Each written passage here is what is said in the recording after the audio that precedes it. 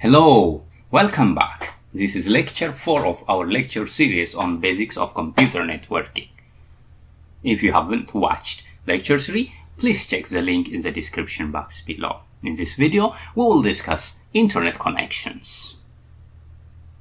According to Cisco Annual Internet Report 2018-2023, there will be 29.3 billion networked devices by 2023. I believe because of the COVID-19 pandemic, this number will increase. According to the recent reports of Internet World Stat, as of June 2022, 5.47 billion people are connected to the Internet. It is important to know the different type of technology that will help us to connect to the Internet. In the next slide, we will discuss about home and small office internet connections. As shown in the picture, home users, remote workers, and small offices require a connection to internet service provider to access the internet. Connection options vary greatly between ISPs and geographical locations, but the most popular choice include broadband cable, broadband digital subscriber, wireless wide area network, and the mobile services. Few of the examples are first, DSL digital subscriber line. It provides high bandwidth, high availability, and an always on connection to the internet. DSL run over a telephone line. In general, small office and home office users connect using asynchronous DSL, which means that the download speed is faster than the upload speed. The second one is a cable connection. Cable connection is offered by cable television service providers. The internet data signal transmit on the same cable that deliver cable television.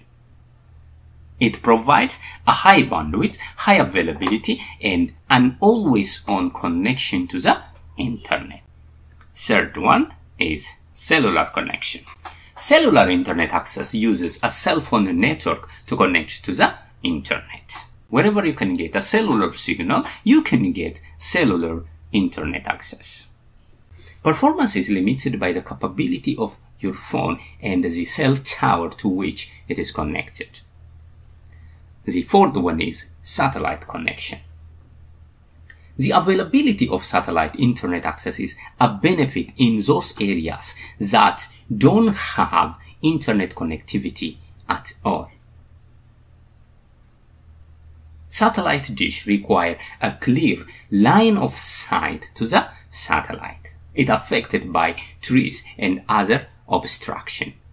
The fifth one is dial-up telephone an inexpensive option that uses any phone line and a modem. The low bandwidth provided by a dial-up modem connection is not sufficient for large data transfer. Dial-up is often the only choice available for remote areas where broadband installation are not prevalent due to low population density and high infrastructure cost. Next, we will discuss about the business internet connections. Organizations usually need access to other corporate sites as well as the internet. Fast connections are required to support business services, including IP phone, video conferencing, and data center storage. Popular business class services include Business DSL, Leased Line, and Metro Ethernet. Few of the examples are dedicated leased lines. Leased lines are reserved circuit within the service provider's network that connect geographically separated offices for private voice or data networking. The circuit are rented at a monthly or yearly rate. The next one is Metro Ethernet. This is sometimes known as Ethernet Wide Area Network. It extends LAN access technology into WAN access technology. The third one is business DSL, digital subscriber lines. Business digital subscriber lines is available in various forms. A popular choice is the symmetric digital subscriber line, which is similar to the consumer version of DSL, but here it provides uploads and downloads at the same high speed. The fourth one is satellite. Satellite service can provide a connection when a wired solution is not available, just like home and small office internet connection. Next, we'll discuss about the converging network. Traditional network use separate network for different purpose.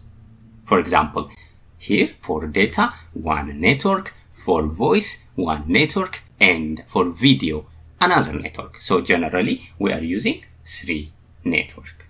Here, each network uses different technology to carry the communication signal and it has its own rule, agreement and standard. This separate network could not communicate with each other. Retaining this type of network is generally resource consuming. So it's needed to come up with a solution which is the converged network. As shown in this picture, convergent networks are capable of delivering data, voice, and video traffic between many different types of devices over the same infrastructure. It carries multiple services on a single network. This network infrastructure uses the same set of rules, agreement, and implementation standards, and it's known as converged network. If you have any question, please use the comment section below. In the next video, we will discuss about reliable network. Thank you and see you there.